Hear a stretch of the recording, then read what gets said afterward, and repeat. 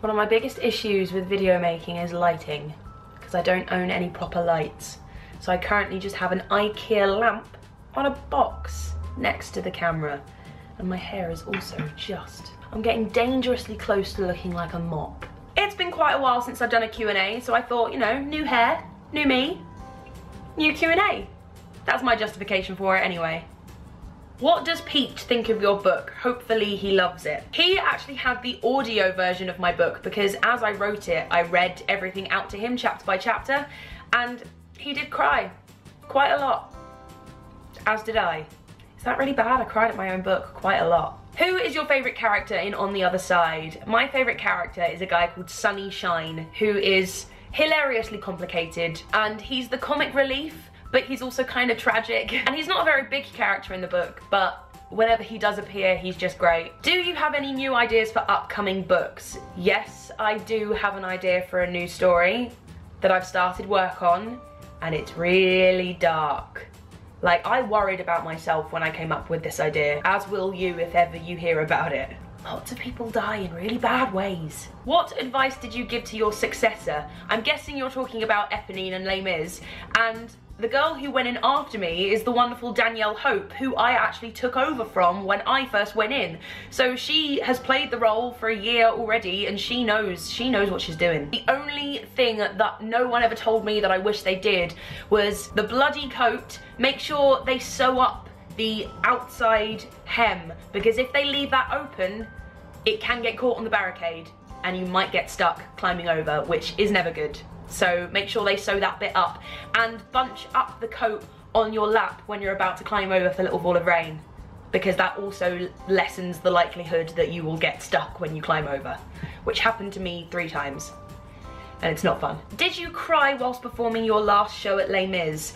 I cried afterwards when I came off stage, but I didn't cry when I was on stage, and I think it was because I knew that I was so ready to go. I was so happy for all the time that I had there because I had two years and eight months. Like that's longer than I think any Eponina stayed in the show. So I was so grateful to have had all of that time. I knew that I would have been so annoyed at myself if I hadn't sung every note of every song for my last show, for the last time. So as soon as those lights went out at the end of the show, I sort of crumpled into a heap of tears and snot and sobbing. Are you going to grow your hair or do you think you'll keep it short? I think I'm gonna keep it short for a while. It's also so much easier to deal with hair like this. How many words are in on the other side?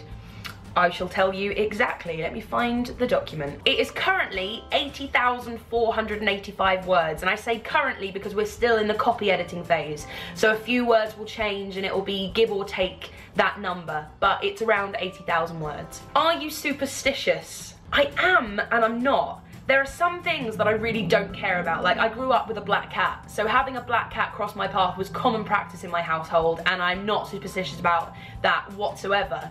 But then there's certain things like theatre rituals. If I didn't touch the pimp's hat at the beginning of Lovely Ladies, I was so sure I was gonna have such a terrible show, but it would be a self-fulfilling prophecy because I'd be thinking so much about the fact that I didn't touch his hat that I would just end up forgetting something else and having a really bad show because of it. I guess I'm just superstitious within theatres, which isn't great because that's my job. So when are you going to reveal that you're the next Doctor Who companion? I am not the next Doctor Who companion. I'm not the next Doctor either. I'm not the next Elphaba. I am not in Harry Potter and the Cursed Child.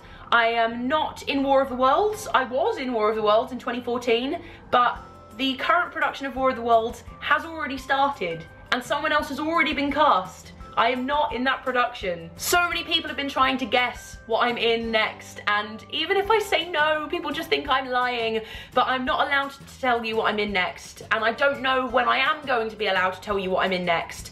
But I promise you, within minutes of me being told that I can tell you, you guys will know, I promise you that. Thank you so much for watching and I shall let you know I'm gonna do another Q&A so you guys can send me in lots of your lovely questions. If there's a sudden lack of videos in the next couple weeks, it's because I'm going to be running around like a mad woman in Disney World with Pete and Mickey Mouse, but I'm vlogging the whole holiday, so when I get home, I shall have lots to share with you. Bye! So this is love. So this is love.